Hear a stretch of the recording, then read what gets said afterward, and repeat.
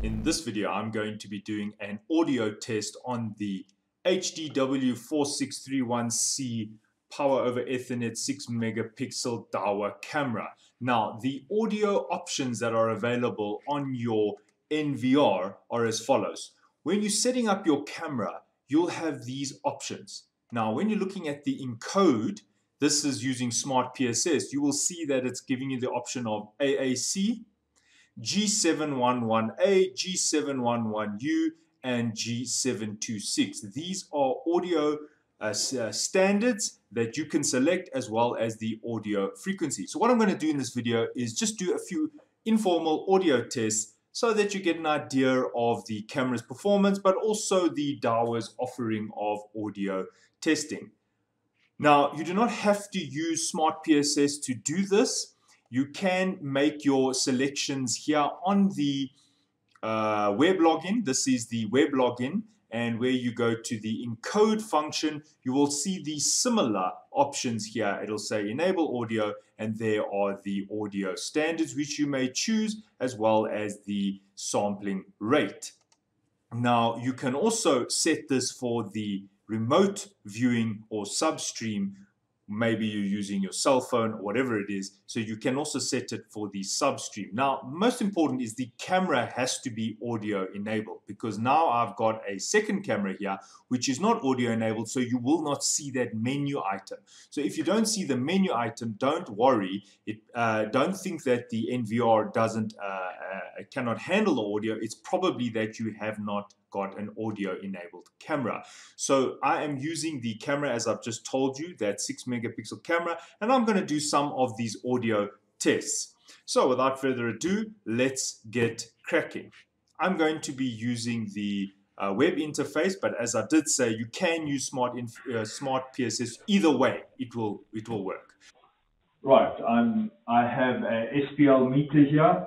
I'm talking at a volume that does not go over 80 decibels. I'm talking between 65 decibels and 75 decibels. Right, this is the G711A 8, kilo, 8 kilohertz sampling rate.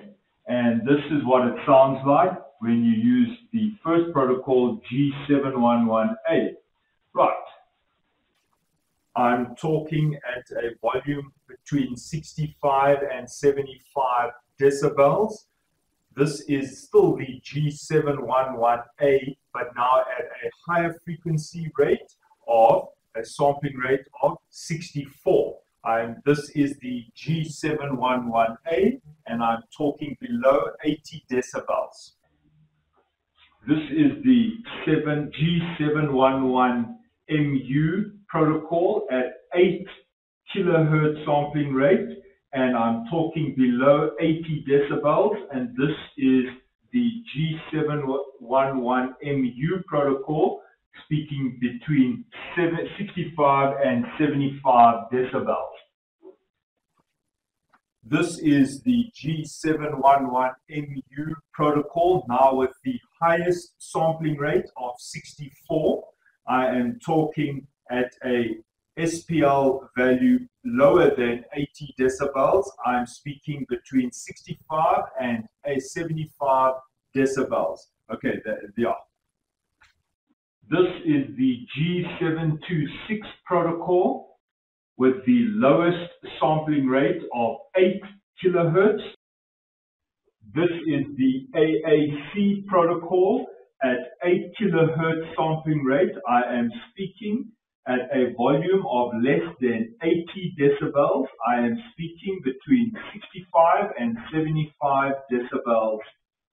This is the AAC protocol at the highest sampling rate of 64 kilohertz.